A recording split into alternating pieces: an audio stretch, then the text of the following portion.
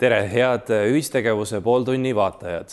on eetris juba seitsmes ühistegevuse pooltund ja tänases saates peatume nii metsaühistute kui ka piimandusühistute teemadel. saate esimeses pooles käime külas piimandusühistul E-Piim, mis tegutseb Põltsamaal ning saate teises pooles sõidame Tartust veelgi kaugemale Läänemaale Ristisse, kus teeme intervjuu metsaühistute esindajaga ja metsahoiulaenuühistu eestvedaja Sven Köstriga. ning saate lõpetuseks võtame saate kokku Eesti Maaülikoolis. taaskord on saates külas Jaan Leetsaar ning kommenteerime lühidalt saates nähtut. head vaatamist Põltsamaal asub pikaajaliste juustutootmiskogemustega piimandusühistu E-Piim. tegemist on traditsioonilisi ühistegevuspõhimõtteid järgiva ühistuga, millel on käesoleval ajal kakssada kuuskümmend liiget. mõistagi on liikmeteks piimatootjad, kellelt varutud piimast valmistab E-Piim aastas kuni seitse tuhat tonni juustu, millest seitsekümmend viis protsenti liigub eksporditurule aastase müügikäibe poolest on E-piima puhul tegemist Eesti ühe suurima ühistuga ühistegevuse pooltund tegi intervjuu Jaanus Murakaga, kes piimandusühistu E-piima juhatuse esimehe ametit pidanud juba tuhande üheksasaja üheksakümne seitsmendast aastast peale. piimandusühistu üheks peamiseks eesmärgiks on kindlustada oma liikmetele piimatulus realiseerimine kuivõrd ühistus on traditsiooniliselt esikohal liikmed, siis uurisimegi esmalt, kuidas on ühistus korraldatud suhtlemine liikmetega ning kuivõrd levinud piimandusühistud üldse maailmas on? liikmetega tegevus ja suhtlemine on nagu igapäevane, nagu ka piimaäri iseenesest, et mis nagu eraldab näiteks kartuliühistut või piimaühistut või, või teraviljaühistut. et kartul ja teravili, nende saak tuleb kord aastas ja liikmega see kontakt ei ole võib-olla nii tihe. piima varutakse iga päev või üle päeva ja ühistu kontakt oma liikmetega ja majandustegevus on igapäevane. sellepärast ka üle maailma me vaatame, et piimaühistuid on väga palju. täna üle maailma piimaühistud kontrollivad umbes kuuskümmend, kuuskümmend viis, seitsekümmend protsenti maailma piimandusest et kui me toome näite näiteks nagu Uus-Meremaa, seal on peaaegu sada protsenti, Austraalia, Ameerika on väga ühistute keskne, meie kõige lähemad naabrid, Soome, Rootsi, Norra, Taani on äh, üheksakümmend protsenti ühistud kontrollivad piimandust, Valio, Arla, MT Foods ja Norras Tiine, need kõik on ühistud. ja huvitav on ka see, et näiteks Ameerikas need piirkonnad, kus on palju skandinaavlasi, seal öeldakse, et seal ühistegevus läheb hästi et Eestis on siin veel, siinkohas veel õppida, aga meil on ühistegevust nagu lah-, valesti lahti mõtestatud, meil on selline mm, vale arusaam, et ühistud on äh, Nõukogude süsteemi jäänuk. tegelikult, kui me vaatame tänapäevaselt moodsat maailma, siis ühistud ja majandusühistud on arenenud riikides, kus on kõrge kodanike aktiivsus, mis on kõrge turumajanduse ja demokraatia tasemega riigid. täna, kui me tegelikult vaatame, siis totalitaarsetes riikides ühistuid ei ole. ei ole Valgevenes, ei ole Venemaal. Neid on vähe. ühistud on täna kaasaegse turumajanduse, demokraatia ja kodanikuühiskonna riikide näide korra liikme juurde veel tagasi tulles, et äh, kas ühistus on äh, liikmed äh, võrdselt koheldud? ma kujutan ette, et piimandusühistu puhul eelkõige siis väljendub see kokkuostuhindades, et kas kõikidel liikmetel on samad kokkuostuhinnad, sõltumata nende pikaajalisusest ja sõltumata, kas nad on suured või väikesed? jah, et ühistul tõesti on see nii, et kõik liikmed on võrdselt koheldud, kõikidel liikmetel on ühesugused õigused ja, ja piima hind on kõigile üks ja Eestis on see tõesti nagu probleem mm, majanduses, mm, piimaturul. Eestis on väga, väga erineva suurusega piimatootjaid. on väiketalumehed, kellel on võib-olla kümme lehma, võib-olla vähemgi, ta on väga väike selline piimatootmisettevõte talu kujul ja on suured majandid, kus on tuhat lehma. ja turg on nagu niimoodi välja kujunenud, et noh, tehakse turul paremaid pakkumisi, kellel on suurem piimakogus. ja ühistu siin teatud mõttes äh, ei ole nagu konkurentsi suhtes eelistatud. nii et sest just nimelt see ühistu põhimõte, et kõiki liikmeid koheldakse võrdselt, mm, ei võimalda siis teha selliseid äh, eraldi pakkumisi. ja mis tegelikult on ka ju õiglane, et äh, kaudselt me võime öelda seda, et kui mingile suurele mm, farmerile tehakse parem piimahinna pakkumine siis me võime tegelikult ju öelda, et, et see raha tuleb tegelikult selle arvelt, et väiksele makstakse vähem. eks fair play oleks ikkagi see, et me maksame kvaliteedi pealt ja kogus ei mängi rolli. aga kuivõrd lojaalsed kliendid või liikmed üldjuhul on, et kas liikmetel tekib aeg-ajalt ka neid ahvatlusi, et ta saaks mujalt kõrgemat hinda või liige üldjuhul suudab tajuda ka sellist pikaajalist perspektiivi? ütleme, et E-piim asutati ise üheksakümne kaheksandal aastal, aga need ühinenud ühistud alustasid oma tööd üheksakümne kolmandal, üheksakümne neljandal aastal. ja täna me näeme, et üks suur osa piimast, mis täna E-piima tuleb, on äh, nende ühistute asutajaliikmete piim.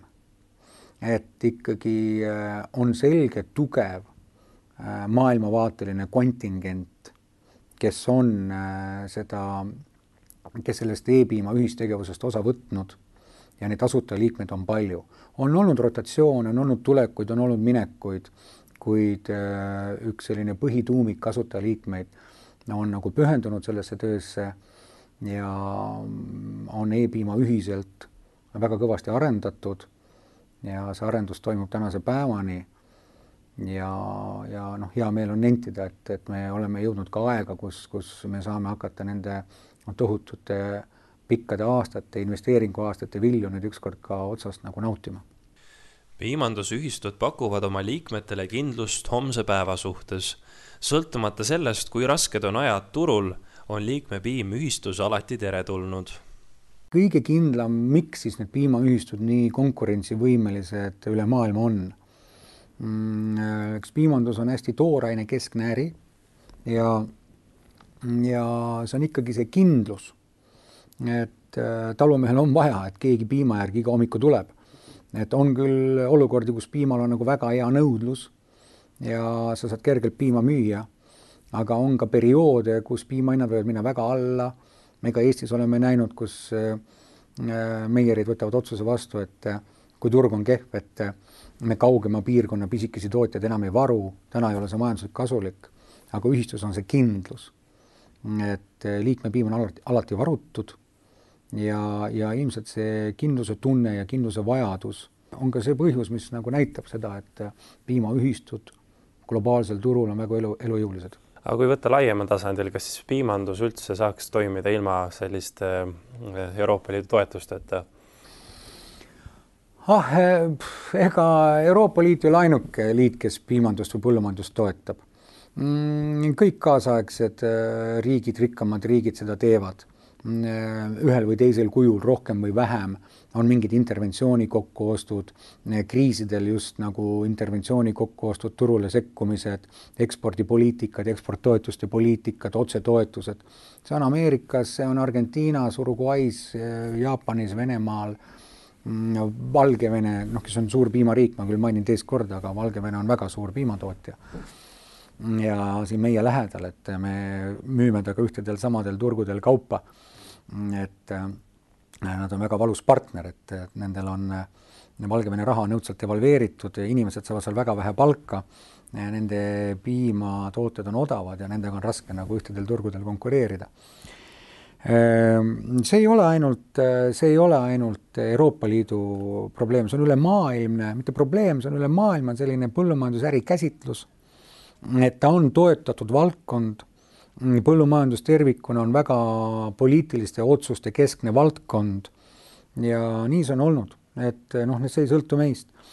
et Eesti piimatootjal oleks täna ilmselt kasulik, kui Euroopa Liidus ei oleks mitte mingit toetuspoliitikat, oleks karm liberaalne turg sest Eestis on piimanduseks soodne ala, meil on piisav sademete ja temperatuuri suhe ja kliima on okei rohi kasvab hästi, farmid on suured mm, maa ei ole väga kallis võrreldes Lääne-Euroopaga. Ja, ja, ja vabades konkurentsitingimustes Eesti farmer elaks täna ilmselt paremini kui sellises ülireguleeritud äh, protektsionistlikus äh, põllumajandussüsteemis, nagu seda on Euroopa Liit murakas ei näe aga, et Euroopa Liidu tulevase seitsmeaastase eelarveperioodi jooksul toimuksid muutused, mis näeksid ette olulise liberaliseerimise põllumajandustoetuste suhtes. ühistegevuse pool tundi huvitas, kuidas ühistegeliku organisatsiooni pikaajaline juht hindab ühistegevuse levikut muudel tegevusaladel? ma arvan, et täna on ju selgelt näha, et selline mm, kodanikuühiskond tõstab pead heas mõttes ja ja näha on ju, et ühistutes on hakatud teistpidi suhtuma. kuna ma olen sellel alal töötanud, siis ma näen, et et noh, täna raudselt ei ole ühistu vaenulikud ajad. täna ühistuid mõistetakse, sellest saadakse aru, aga meil on olnud väga ühistulikku vaenulikke aegu ja ühistu vaenulikku poliitikat. või, või ütleme siis mitte mõistmist igal juhul ja mitte arusaamist, kuidas ülejäänud arenenud maailm on üles ehitatud veel kord kordan, et just Skandinaavia on väga ühistute keskne igal tasandil kuna erineva valdkonna ühistud peaksid võimaluse korral ka ise koostööd tegema, et kogu ühistuline liikumine oleks tervikuna tugevam, siis küsisime, millistes teistes ühistutes võiks e-piim ise liige olla, mis tema tegevust võiks soodustada? täna me ju, täna on ju väga aktuaalne teema samad hoiu-laenuühistud kui pangad on nüüd olnud sellises natuke tagasihoidlikumas seisus ja laenuturud, majanduslangus, üleüldine võlakriis, finantskriis, nii et täna tegelikult äh, hoiu-laenuühistud, hea, et nad meil on olemas, aga päris suur ime, et nad on olemas. et nad sellises suurte äh, kommertspankade võidujooksus ja ja kui kõigil olid, äh, oli nii-öelda meri põlvini et need hoiu-laenuühistud ikkagi äh, on ellu, äh, ellu jäänud. Ja ma loodan, et nende liikmeskond praegu suureneb. Mm, no loomulikult on see evolutsiooniline protsess, et ükski hoiu, hoiu, hoiu-laenuühistu ei saa ju suureneda hüppeliselt, aga see oleks ka majandusühistutele niisugune äh, normaalne, loogiline, sünergiline koostöö või partnerlus, majandusühistud ja hoiu-laenuühistud kuna kahe tuhande kaheteistkümnes aasta on kuulutatud ÜRO poolt rahvusvaheliseks ühistute aastaks, siis uurisime ka Jaanus Muraka mõtteid selle tähtaasta kohta. ühistu aasta hakkab siis varsti lõppema. sellest on Eestis natuke küll juttu olnud, et tõesti, et on rahvusvaheline ühistegevuse aasta. ma arvan, et see ühistegevuse aasta on mm, kuidagi väga õigel ajal. et äh, just ma veel kord kordan, et majanduslangus võlakriis, mis ju tegelikult äh, alles kulmineerub, äh, millisena ta ükskord lõpeb, mm, me ju ei tea, et selline ühistegevus, üksteise toetamine, ma arvan, see on praegu väga oluline, praegu ja ka lähiaastatel, nii et kodanik kodaniku, kodanikuühiskonna tõus ja niisugune mõttelaad, et äh, ühiselt ajada ühtset asja või meil siis ühiselt ajada Eesti asja, see on ka ühistegevus, nii et äh, igal juhul on see täna aktuaalne. tutvumaks metsaühistute tegevusega, oleme tulnud Läänemaale Ristisse metsaühistu tegeleb metsa majandamisega ning metsaomanike esindamisega nii kohalikul kui riiklikul tasandil samuti korraldavad metsaühistud koolitusi, ühisüritusi ja abistavad metsaomanikke toetuste taotlemisel. metsaühistusse kuuluvad nii eraisikud kui ettevõtted, kellel on metsamaa. metsaühistud tegutsevad kas mittetulundusühingu või tulundusühistu vormis küsisime Läänemaa erametsanduse tugiisikult, kui suurt rolli mängivad metsaühistud Eesti metsanduses? no ma ütleks, et et, et, et väga tõsine roll selles mõttes, et väikemetsaomanikud muidu oleksid, ma arvan, täiesti esindamata Eesti metsaseaduse mõistes. metsamajandust oleks, ma arvan, vähem. toetusi oleks vähem taodeldud ja vähem oleks ka tähelepanu kindlasti pööratud metsadele.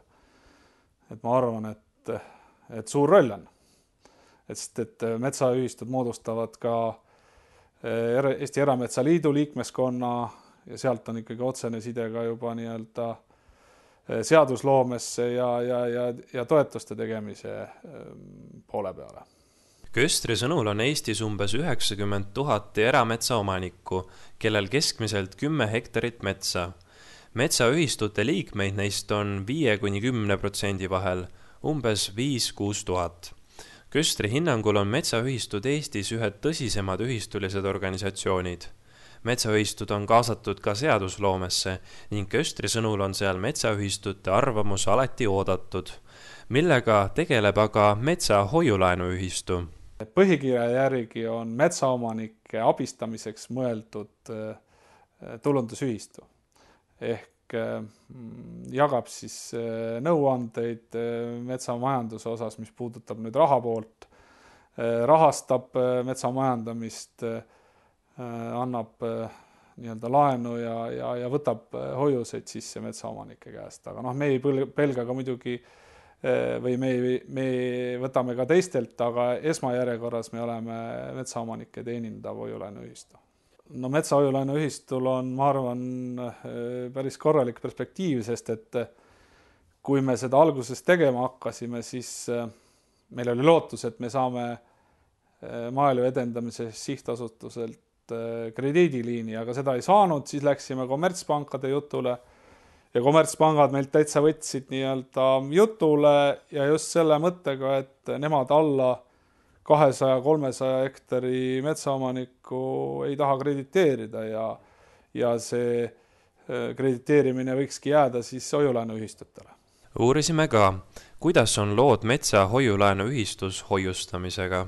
me oleme välja pakkunud, et me võtame hoiuseid, aga väga palju neid hoiuseid meile pakutud ei ole, sest metsamees on väga konservatiivne, metsamees tavaliselt hoiustab oma raha jälle metsa et äh, metsamees pigem võtaks nii-öelda äh, laenu, et oma metsa äh, nii-öelda majandust arendada, aga raha, mis ta sealt saab, paneb ta metsa tagasi, nii et talt, tal pigem jääb puudu, üle ei jää nagu eriti midagi.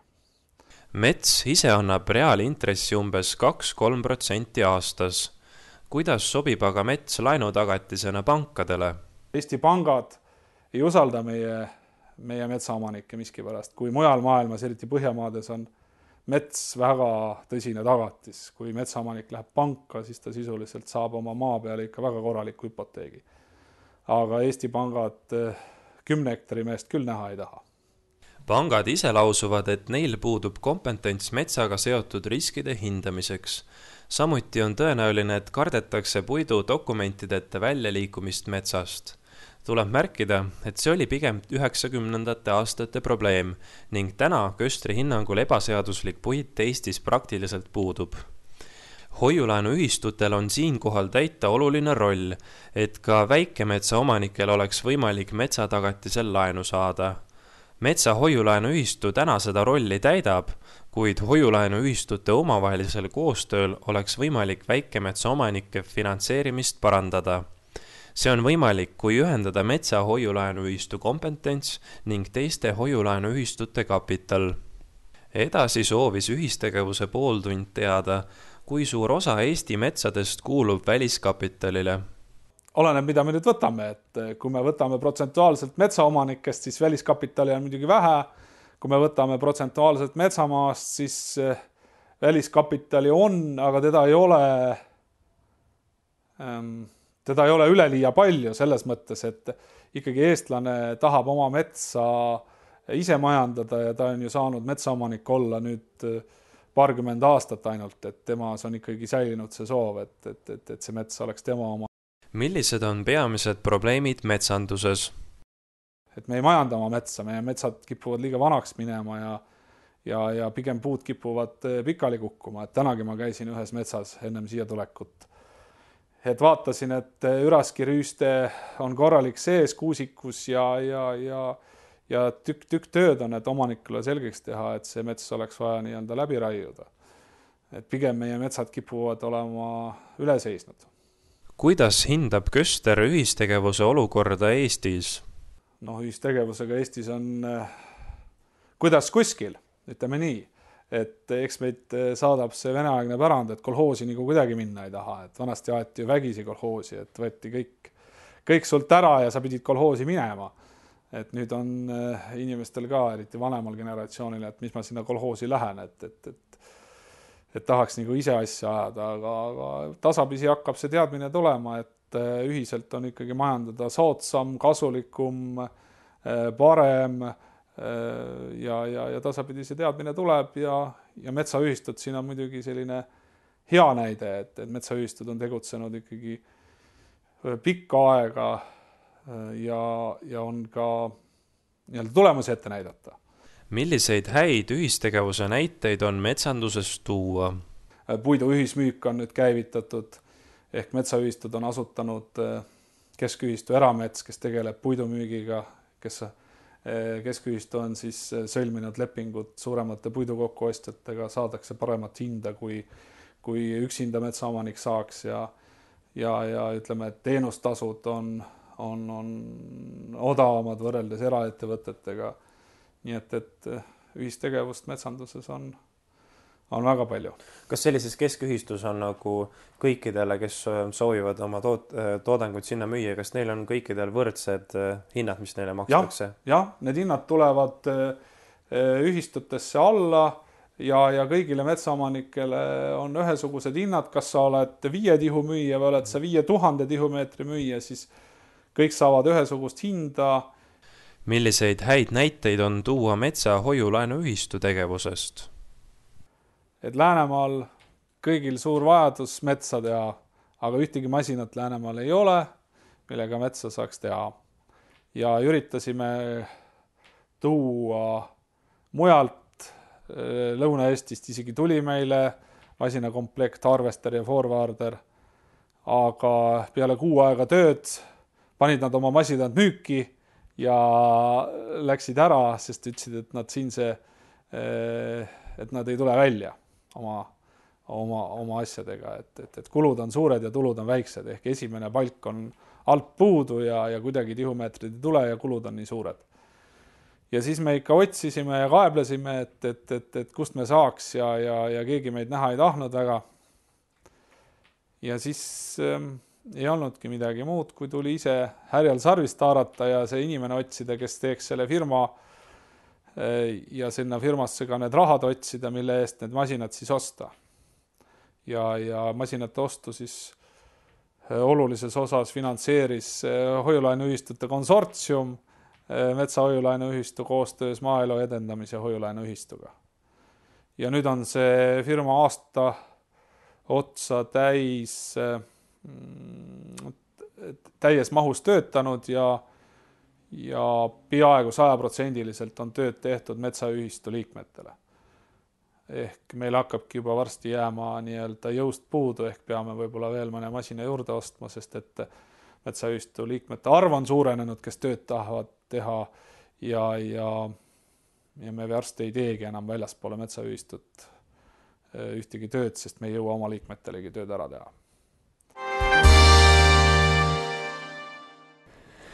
saate lõpetuseks on ühistegevuse pooltund äh, tulnud äh, taas kord äh, Maaülikooli ja siin soovime saada mõndasid tähelepanekuid Maaülikooli õppejõult Jaan Leetsaarelt.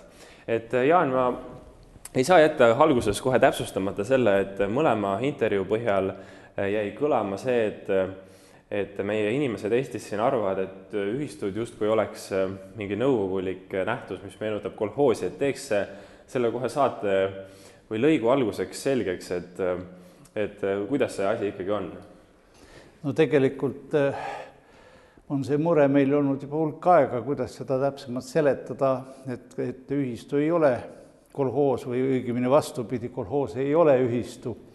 ja põhiline vahe on see, et kui ühistu on erakapitali ja ühiskapitali sümbioos kus mõlemad tegutsevad koos, siis kolhoosides on erakapitali osatähtsus sisuliselt välistatud, järelikult ei ole olemas eraomanikku kui ühistu liiget juba ja selle tõttu me ei saa käsitleda kolhoosi no mitte kuidagi ühistuna.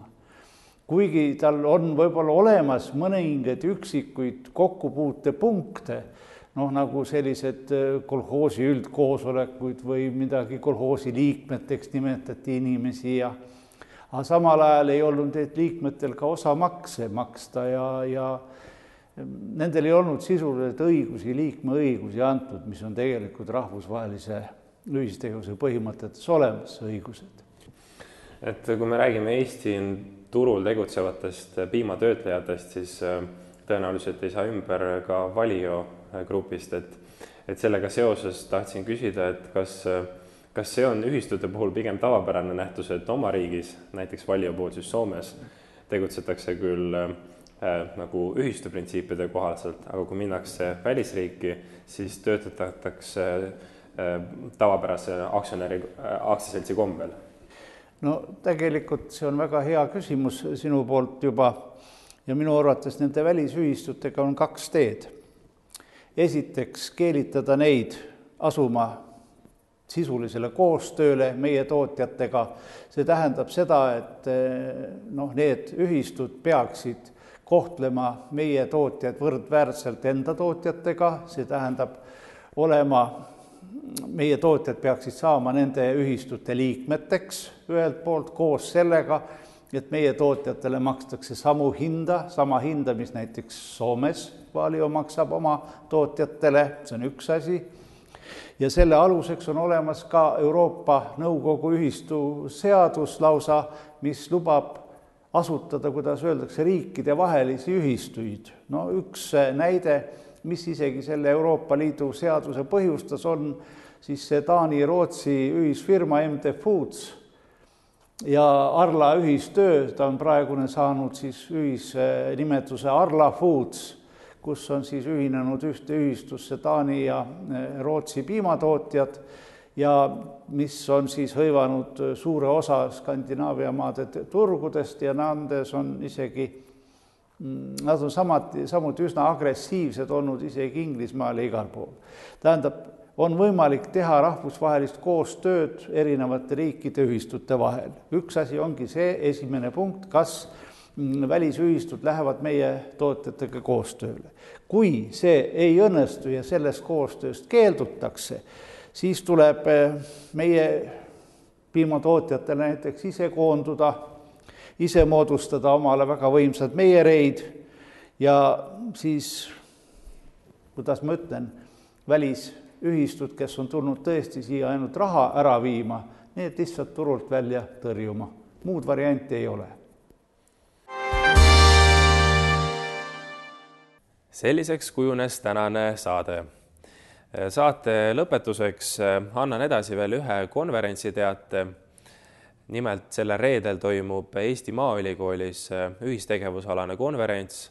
tegemist on tasuta üritusega ning hakkab see pihta juba hommikul kell kümme ning kestab äh, juba üpris õhtuste tundideni, kus siis toimub ka Jaan Leetsaare kõrgkooli õpiku esmaesitlus.